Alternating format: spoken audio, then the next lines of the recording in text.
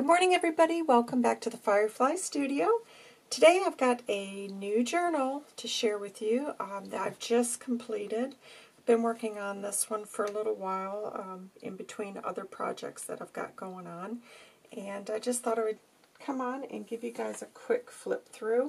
Uh, this will be available for um, sale in my shop, which I've got a, a link to my shop in the description box below, so if you're interested you can follow that and check it out.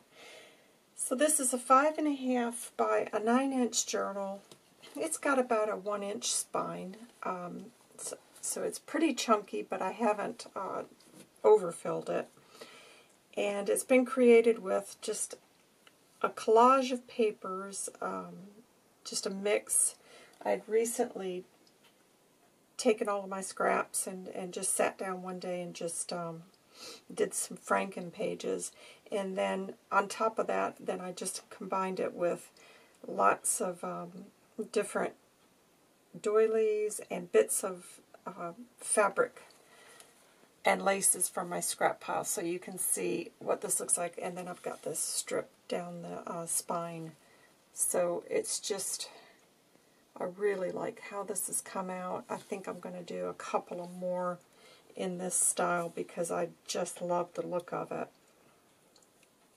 So as you can see, it's, it's a nature themed. Um, I've got some extra bits here with the beading on it. I'll just give you a close-up of that so you can see how that covers come out. A lot of stitching. And uh, like I said, it was a lot of fun to work with this. It's been a while since I've done a journal, as you guys know. Um, I've been spending some time organizing, finishing up um, leftover product uh, project, and, then also um, I've recently done some destash, which, by the way, if you're interested in those, check out my shop.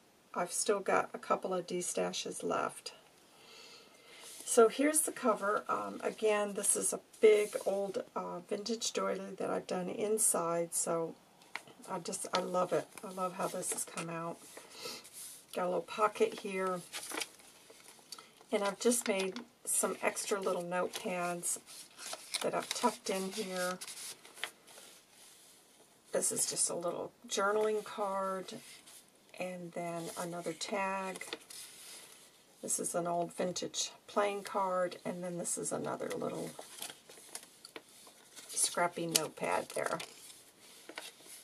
So there's quite a lot of um, writing space. This has got 96 pages front and back, but you'll see there's a lot of extra bits in here to go along with that. And then here I've got a window pocket, and this tag tucks in there. I've got a little cluster there with old laces old vintage uh, nature book pages in here, another fabric um, lace and paper collage there that I've created into a tuck spot.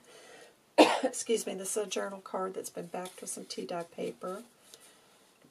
So as you can see, I've got a mix of um, tea dyed papers, and then I've also got these pages that are just on white. I personally like the contrast of the white with the aged. I just think it gives it a lot more um, interest. Beautiful pages here. I've done stenciling. I've stitched throughout. And this is some of the, um, uh, I think, the, I can't remember what this paper was called. I purchased this some time back. So I, I can't remember. It's not handmade paper, but it's, um, it's just nice to have you know, different paper types within the journal. Here's a little handmade um, journal card that has been collaged, and then this is a vintage, uh, I don't know, they're not cigarette cards, but it's kind of similar to the tea cards. And I've just pinned these, and then here's a little, um, like a mini Rolodex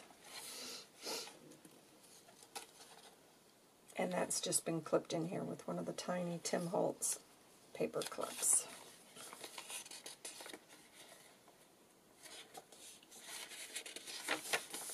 Love that image. Here, I've got another one of the little um, mini Rolodex cards. done some lace here. This is some of the um, papers I recently purchased from Henna here in the UK. She does beautiful, beautiful um, coffee dyed papers. Um, so I'm just slowly getting through those. Absolutely beautiful papers. More stenciling here, another old book page. So as you can see, there's a lot of writing space. Um, this is an Edith Holden book page, of course. I've tried to keep the colors all coordinating throughout. And this is one of the little window postcards. I recently um, did a tutorial for that. So you can check in the playlist. I've got a section for um, tutorials or craft with me that you can find out how to do those.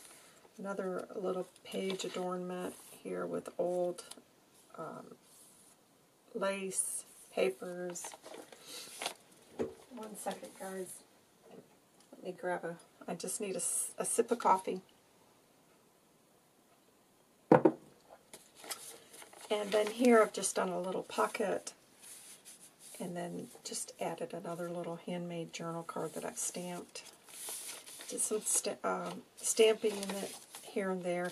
Now this is handmade paper, so I wanted to include that in case you wanted to do a little bit of mixed media. And then another handmade tag with a charm and some seam binding, and those have all been backed with tea-dyed paper. And then this is a book page pocket that I've made. And then a little dimensional butterfly here. And it's got some uh, cheesecloth behind that.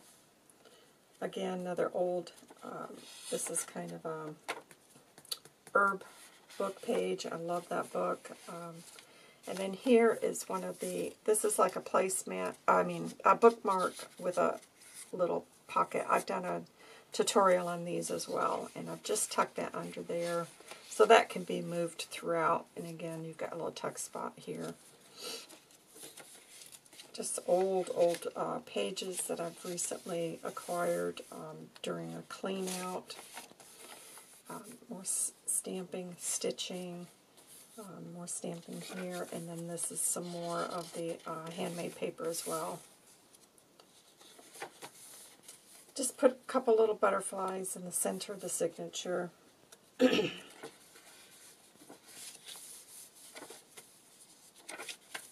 So there's still a lot of room if you wanted to add more pockets, but I didn't want to over-embellish it again because I want to leave enough room for the recipient to add their own things. Just love these papers. And another handmade tag that I backed with tea-dyed paper. And this is a book page pocket. I recently did a um, tutorial on these book page pocket and tags.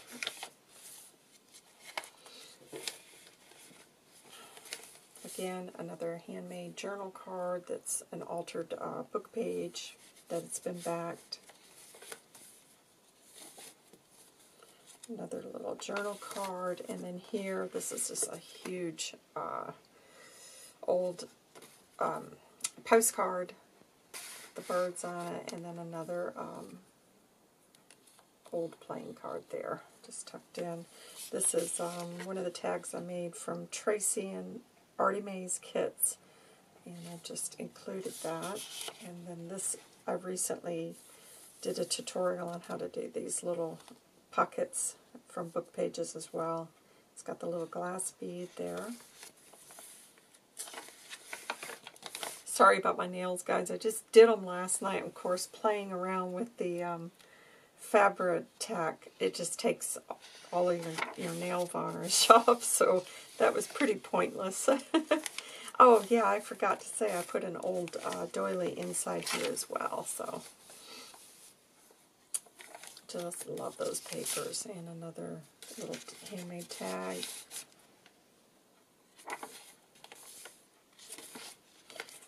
And then here, another little tag tucked into this pocket, and then I've just done some collaging with bits of scrap paper, I mean, trims and laces.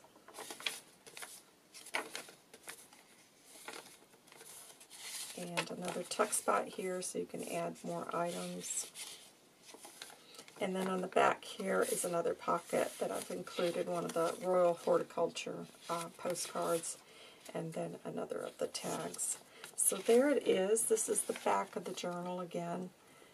And as I said, this is going to be for sale in my shop. Um, so if you're interested, you can have a look. And again, I've got a couple of other destashes in there for sale. So if you're interested in seeing what I've got there, you can check out the videos um, on my channel and also check out my um, shop. So you guys stay safe. I'll be back soon. Bye.